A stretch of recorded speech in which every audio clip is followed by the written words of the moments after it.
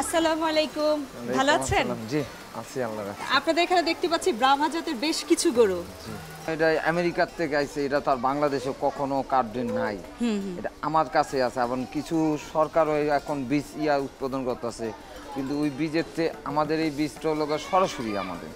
যে আমাদের কিছু গাবি আছে কিছু গাবির বীজটা আমরা এই বীজটা যদি দেই তাহলে আমার দেশে তো এটা বাচ্চারা বাইরে হ্যাঁ তো এটা কিছু আছে যে ইঞ্জেকশনের মাধ্যমে দেয়। হ্যাঁ, হ্যাঁ। তো এটা আমার ইঞ্জেকশনের মাধ্যমে এটা আমি সরাসরি কয়েকটা করলাম। কথা শুনে যেটা মনে হচ্ছে আপনারা সুদূর প্রসারী পরিকল্পনা নিয়ে খুব সুন্দরভাবে খামারটি গড়ে তুলেছে। তো এটার উদ্যোক্তাকে উদ্যোগটা আমার বস আছে আচ্ছা। মোহাম্মদ ইমরান হোসেন। তো এই যে যেই গরুটা আমি দেখতে পাচ্ছি তো এটার এখন বয়সটা কত রয়েছে? এটা আঠারো মাস বয়স আছে ওজন আছে সাড়ে আটশোশো কেজি। সাড়ে আটশো কেজি। তো এটা ওজন ঠিক আপনাদের লক্ষ্য কত? এটা কত ওজনের? লক্ষ্য ওজন আছে আমাদের লক্ষ্য দেড় টন বামা যাত্রী একমাত্র দেড় টন দুই টনও হয় এটা। দুই টন দুই টনও হয়। আচ্ছা। মানে দুই হাজার কেজি হয়। হ্যাঁ, হ্যাঁ। একটা গরু দুই হাজার কেজি হতে হলে আপনি সাড়ে চার বছর ওনাকে পালতে হবে। আচ্ছা তো এই চার বছরে একে কি পরিমাণ খাবার খাওয়াতে হবে? এটা রোজ আপনি ঘাস আছে বিশ কেজি থেকে পঁচিশ কেজি পর্যন্ত। থেকে 25 কেজি, খড় আচ্ছা। আছে প্রায় পঁচিশ কেজি মতো। তারপর আপনি পুরা ভুসি আছে প্রায় পনেরো থেকে ষোলো কেজি পর্যন্ত। আচ্ছা। আরও কিছু খাবার আছে যেরকম কাজু বাদাম আছে তারপর গাজর আছে তারপর আপনি বড়লোকি খাবার, আচ্ছা। জি জি। এদের জন্য তো খাওয়াতে হবে। কাজু বাদাম কিন্তু খুব দামি একটা খাবার। তো গ্রাম পর্যায়ে আমরা জানি যে আমাদের সরকার কিন্তু অনেককেই সিমেন্ট দিচ্ছে। তো তারা কি পালতে পারবে? তাদের পক্ষে কি এটা লালন পালন করে লাভজনক হওয়া সম্ভব? এখন লাভজনক হওয়া সম্ভব যদি ওনারা উদ্যোগটা নেয় যে আমি ওইভাবে পালবো। দেখা গেল কাজু বাদাম আমি দিলাম এক কেজি।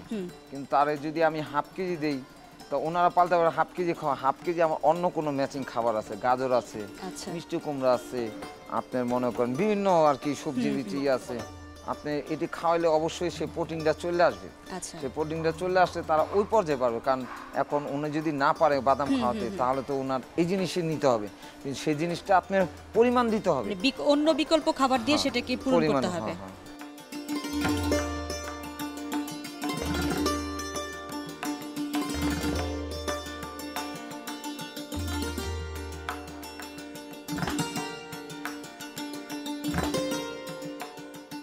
দর্শক, আমরা চেষ্টা করি প্রতি পর্বেই আপনাদের জন্য নতুন নতুন কিছু তুলে ধরার জন্য, যেটা আপনারা লাভবান হবেন। আপনারাও হয়ে উঠবেন সফল কৃষক ও খামারি। এখন আপনাদের জানিয়ে দিচ্ছি এই খামার এবং খামারি সংক্রান্ত ছোট্ট তথ্য কণিকা খামারের ধরন, সাদেক এগ্রো ফার্মে গাভী, মহিষ, ব্রাহ্মা জাতের গরু ও ছাগল পালন। মালিকের নাম মোহাম্মদ ইমরান হোসেন। ঠিকানা সাত নং লোহার গেট, নবীনগর হাউজিং, বেড়িবাঁধ। মোহাম্মদপুর, ঢাকা। মোবাইল নম্বর শূন্য এক আট এক নয় দুই ছয় তিন নয় চার নয়। আমাদের আমিষের চাহিদা পূরণ করার জন্য আমাদের সরকার সচেষ্ট রয়েছেন এবং প্রচেষ্টাও চালিয়ে যাচ্ছেন। গ্রাম পর্যায়ে কিছু কিছু খামারিকে এই ব্রাহ্মা জাতের সিমেন্ট বা বাছুর দিয়েছেন। এই ব্রাহ্মা জাতের গরুগুলো অল্প সময়ে লালন পালন করে অধিক লাভবান হওয়া যায়। খুব অল্প সময়ের মধ্যে এদের উচ্চতা অনেক বেশি, যেটা আপনারা কিন্তু দেখতেই পাচ্ছেন এবং মাংসটা অনেক বেশি এবং এর মাংসটা সুস্বাদু এবং অন্য মাংসের চেয়ে কিন্তু অনেকটাই চর্বিমুক্ত, যেটা আমাদের স্বাস্থ্যের জন্য অনেক উপকারী। আর সেই সাথে সাথে কিন্তু যেই কোনো খামারি এই ব্রাহ্মা জাতের গরু লালন পালন করে অনেক অল্প সময়েই লাভবান হতে পারেন। আচ্ছা এই যে এটাকে আমি একটা জিনিস দেখতে পাচ্ছি যে গরুটা বেশ মজা পেল এটার সাথে। তো এটা মানে এটা?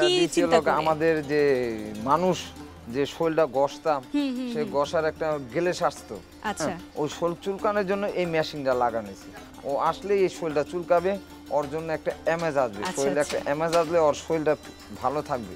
রোগ বেলাও কম থাকবে।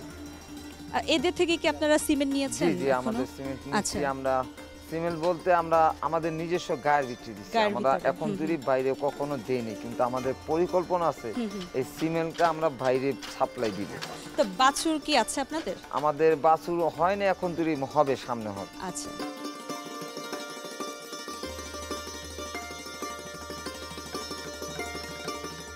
এই যে বিদেশি জাতের এই গরুগুলো এগুলোর পরিচর্যাটা কীভাবে করছেন? পরিযত্ততা মনে করেন আমরা এটাকে হাটকে রাখতে হবে না। আটকে রাখলে আচ্ছা। তাদের পায়ে একটা রস নামে। এখন এটি তো ওই উৎপাদন যে দেখা গেল যে মনে করেন এটাকে যদি ছাইরা পালি ওর একটা এমএস বাড়ে আচ্ছা। ও বড় হবে ও রোগ বেলায় কম থাকবে ওর পায়ে কোনো ব্যথা থাকবে না হ্যাঁ? এই কারণে আমরা ফ্লোরটা পুরো খালিটা রাখছি যে ওরা যে মাটিতে খাওয়ানোর পরে যে ওর যে রানিং নিতে পারে। আপনি রানিং এই খালি জায়গাটার মধ্যে। আমরা এই খালি জায়গাটা রাখছি এই কারণেই যে ও যে একটা এমএস নিতে পারে ও যে নিজে একটা চঞ্চলতা থাকে। এখন যদি আমি একজনের দেখাল যে বিক্রি করছি এখন যদি বলে যে এই গরুটা আমার বাসা নিয়ে আসে। এখন যদি নিয়ে আসে যদি যদি না হাঁটতে পারে তাহলে তো উনি নিবে না। আচ্ছা। আর যদি আমরা যদি ছাইরা পাল সেই কারণে যে ও যে নিজেই নিজেই হেঁটে যেতে পারে এই কারণে আমরা এই বড় পরিকল্পনা নিয়েছি এর পাশাপাশি আপনাদের আর কি কি রয়েছে? আমাদের কাছে মহিষ আছে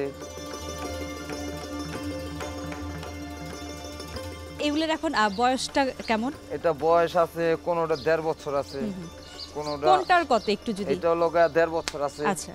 এটা লগা এক বছর আট মাস আছে হুম। আপনার এই এইটা এক বছর আট মাস নয় মাসের ভিতরে চলতেছে এই এই বয়সে এদের ওজনটা কেমন? এটা সাড়ে সাতশো আছে। হ্যাঁ। এটা আছে লগা সাতশোর মতো। আচ্ছা। এটাও সাতশো পঞ্চাশ ষাট কেজি মতো ওজন আছে আমরা।